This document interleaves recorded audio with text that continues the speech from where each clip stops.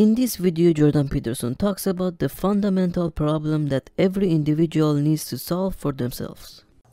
I offered you the proposition last week that we view the world essentially through a narrative lens. And I believe that we view the world through a narrative lens because the fundamental problem that we have to solve as living creatures is how we should act in the world. And that means how we should act to maintain ourselves, but also how we need to act in relationship to other people and in relationship to the broader world in order to maintain ourselves across time. So that's a complicated problem, right? It's not just how you survive, it's how you survive now and next week and next month and next year and 50 years from now and maybe your, your, uh, your descendants as well if the culture is going to stabilize. And then not only you across all those time frames, but you and everyone else across all those time frames. It's a viciously difficult problem. And so I would say that we have evolved mechanisms to solve that. Um, I think that's self-evident in some sense because, for example, one of the mechanisms that animals have evolved to deal with the problem of social being, even if they're not particularly social animals, is the dominance hierarchy, right? Or you could call it a hierarchy of authority or power, because I think considering human structures, social structures, as mere power structures is a, a, a terrible mistake. It's a terrible oversimplification. Um, because power is by no means the only, like force is what I mean. Force is not a stable way of solving the problem of how to live together across time. The question is, what is the stable way of solving how to live together across time? And that really is the question, and it's part of the question that I'm trying to answer, partly because it's a perennial problem, right? We, we face the problem of how to organize ourselves in small social units without undue conflict, and then we face the larger problem of how to organize ourselves into large social units without undue conflict, and that conflict can be absolutely devastating and, and, and frequently is. So, so then I would also say that the first way of solving this problem isn't conscious, you see, not at all. And you know, you may know and you may not know that there are, there are different forms of memory right? Really, technically different forms of memory. So, for example, there's short term working memory, which is the memory that you use to hold things like telephone numbers in your active imagination. It decays very rapidly. It's only about four to seven bits, which is why, well, it's why phone numbers are, were at least seven digits long. You know, you can kind of manage that as a loop. That, and then there's um, episodic memory, and that has two elements. One is semantic, and the other is uh, episodic. It's, uh, oh, what's the name of that? Hmm? Someone, someone said something? Yes, well, there's procedural memory, and then there's, there's another, the kind of memory that you use to represent your experiences to yourself. So let's say it's image laden, and the other one is semantic, and semantic is your memory for facts, and those are quite different. So, for example, procedural memory, that's how you ride a bike, that's how you play the piano, that's how you play jazz music if you're in a combo. It's, it's the memory, it's, in fa- it's, it's a funny kind of memory because it's actually built right into you, you know. I mean, so is, so is the kind of memory that you use to represent your own life, but it's much more malleable in some sense.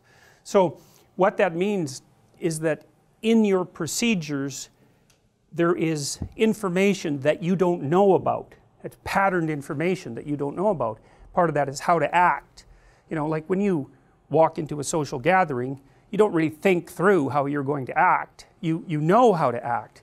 And if someone asked you exactly what it is that you're doing and why, you could formulate a story about it. But the probability that that it's the existence of that story that enabled you to act that way is zero because you have to react way faster than that. And so, you know, you have social knowledge built into your nervous system because you've practiced being a social being for a very long period of time. And of course, then that social being has been shaped for forever, really. That, and it's the right way of thinking about it.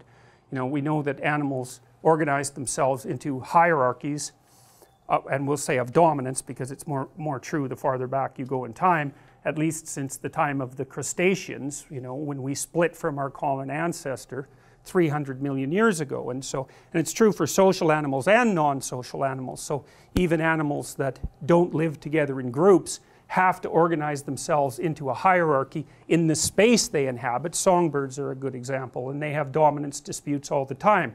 Partly that's you can hear them having their little dominance disputes in the spring when they're singing because basically what they're singing is I'm pretty damn healthy and I'm ready to go and if you're another bird like me you better steer clear of this tree.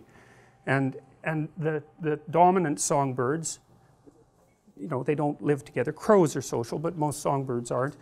The dominant songbirds get the best nest and the best nest is the one that doesn't get rained on isn't it's not too windy and it's close to food sources and you know and so then they have the healthiest chicks and they attract the best mates and like it's really important where you're positioned in the hierarchy even if you're not like a flock or herd creature. Now we're more like herd creatures so it's even more it's even, it's even more relevant to us but there's just no escaping a hierarchical arrangement in, in, in social being. That is social being and, and, and it's evolutionarily ancient beyond conception. So 300 million years ago, there weren't trees, you know, I mean, so the dominance hierarchy is older than trees. So that's really something to think about. And then, you know, when you're thinking about the reality that shaped us, say from an evolutionary perspective, but also from a cultural perspective, what you have to understand is that the things that have shaped us most are the things that have been around the longest. And so you could say those are the most real things. And you can't even see some of them. Like it's not like you can come in here, well, it's not exactly true. You can't come in here and see the multiple dominance hierarchies that are at work. You can in a way because the chairs are set up to face this way and I'm facing that way and that gives you some clues about the social order here and you take the cues instantly right? You come down you sit in the chairs you organize yourselves according to mutual expectation and that's part of your procedural knowledge about how to behave as a social creature. Now that knowledge is really really deep and a lot of it's coded in your behavior.